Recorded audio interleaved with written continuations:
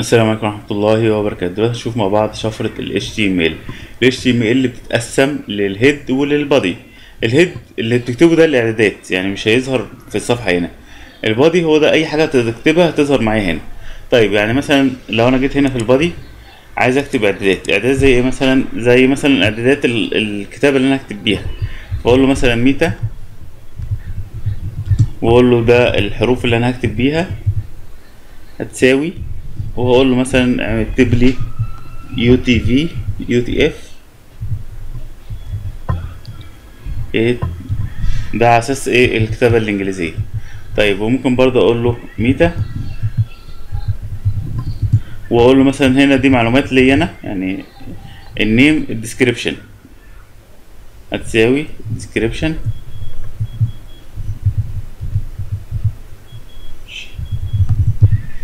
الديسكريبشن دوت هيحتوي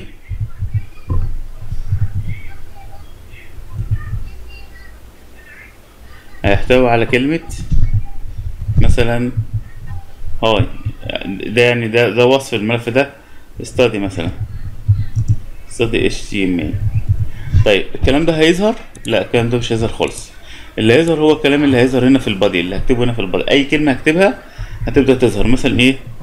hello world world hello BIM Arabia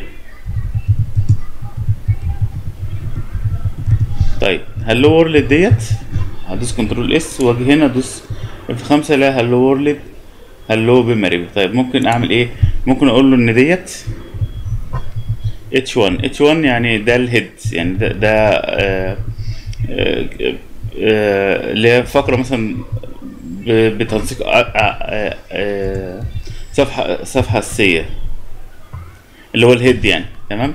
طيب ممكن أقول له مثلا أقول له control S ونيجي نشوفها كده. هتلاقي hello world بقت كده فقط. ممكن أقول له هنا إن دي para paragraph P دي تنسيقات حتى هتلاقيها في ال Word بتدوس على بتعلم على حاجة وتدوس تقول له خلي دي مثلا paragraph خلي دي H 1 H 2 وهكذا. H 1 بتبقى آه، بحجم أكبر. فأعمل شرطة وأقول له P اللي هي paragraph وأقول له control S.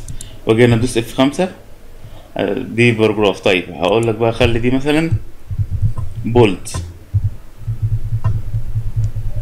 وطبعا لازم أقفل ال- ال tag اللي أنا عملته هنا قبل قبل ما أجي هنا. يعني ما ينفعش يبقى مختلطين مع بعض هتحصل لخبطة جامدة. فأقول له اقفل لي دي خلي لي دي bold وأجي هنا ادوس F خمسة هتلاقي BIM Arabia بقت bold شوية. فأي حاجة هتكتبها بين البادي هتظهر. أي حاجة هتكتبها في الهيد مش هتظهر. مجرد بس اعدادات للملف نفسه أو تظبيطات أو معلومات ليا أنا.